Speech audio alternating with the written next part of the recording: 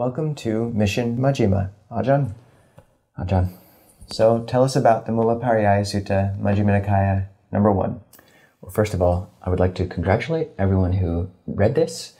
You're fantastic. Uh, Bhikkhu Bodhi himself said that if he was part of the group of people, the group of monks who ordered these suttas, he would have put it last rather than first because it is a bit of a doozy. There's a lot of language which is very specific and a bit technical, and it reads overly philosophical. I myself tried reading it and couldn't even get through the three or four pages many times, uh, but recently have found it to be quite interesting. What, it, what it's doing is describing how the Buddha sees the world, specifically how four different classes of beings see the world. The Buddha describes that. And then he proscribes how one can train oneself to see the world more accurately. So the Buddha describes these four different types of beings the unenlightened Puthujjana. So this is someone who's unenlightened. Then someone who's partially enlightened. This is a Seka.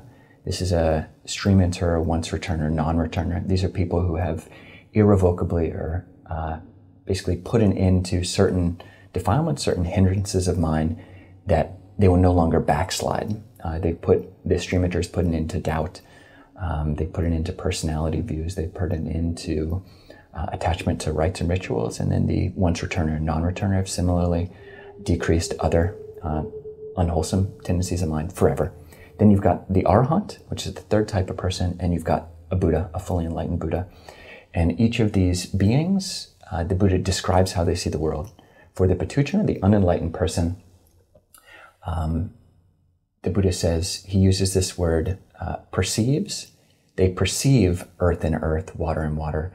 The Buddha using these four um, elements earth, fire, water, wind, which is the Buddhist conception of uh, physicality at the time, and describing different levels of beings humans, animals, uh, all the way up to these different levels of gods, experiences, the eight jhanas, basically, mm. uh, levels of absorption and uh, diversity and self, and how unenlightened Buddhas, I'm sorry, unenlightened beings even see nibbana, how they misperceive nibbana. And the, the word that's used in the Pali is manyati.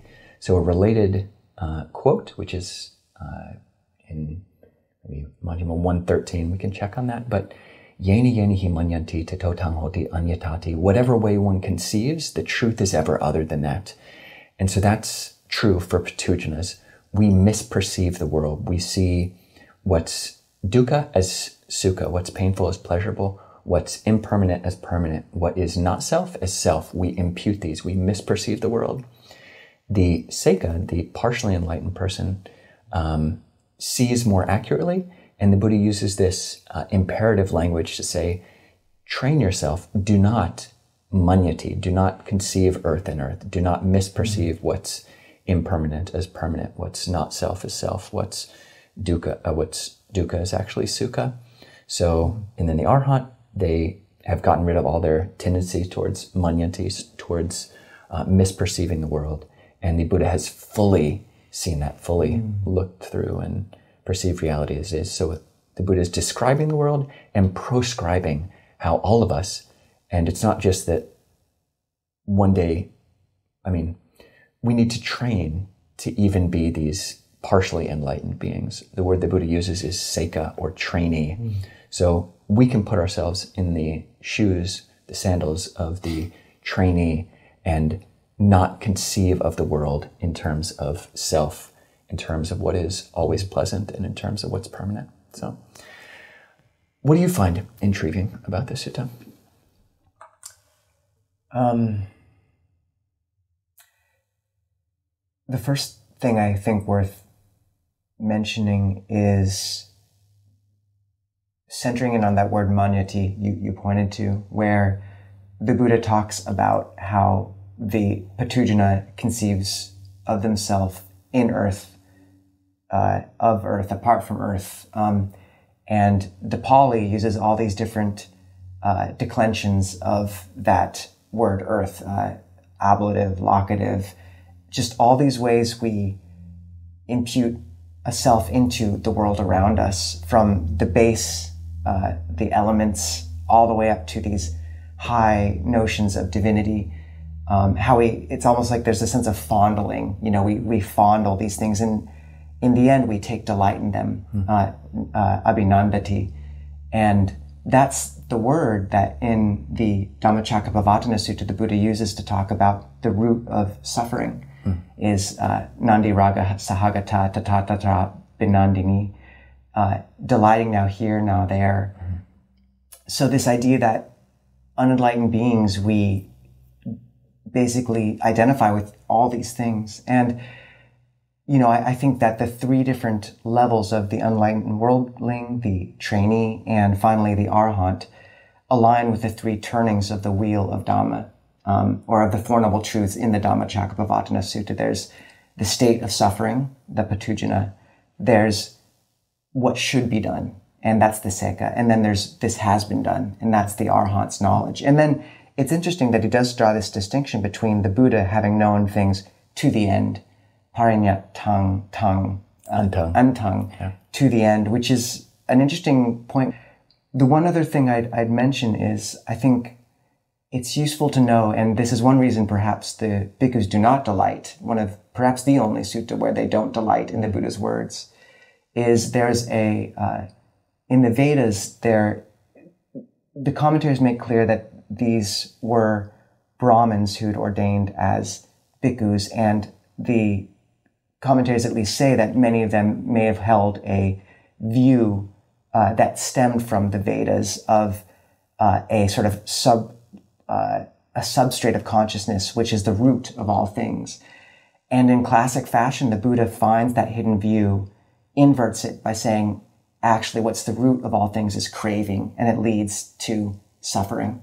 And so they're not happy about that. But I see, I think you could look at this whole sutta as this refutation of a false view in, in these bhikkhus. Um, and I'm curious, how would one apply this to their own life, Ajahn? Um, how have you thought of it or brought it into your experience? Uh, I think the Buddha's prescription to not conceive of the world this way um, is very much in line with think Luang Por Sumedho's witticism, you know, don't believe everything you think. I mean, it's possible it's Thubten Chodron, but someone, or just Ajahn Chah's, um, yeah, asking, you know, not sure, not sure, and putting a question mark around, yeah, everything that I view, I'm, whatever way I conceive, the truth is ever other than that. So there's a term, uh, epistemological humility. So epistemology is our understanding of the world, how we understand the world. And the Buddha is just saying, put a question mark on all of my senses of I really know you, I really know this, and I really know that. So, mm. um, yeah, not sure. And how do you find this helpful in your life? How do you apply it?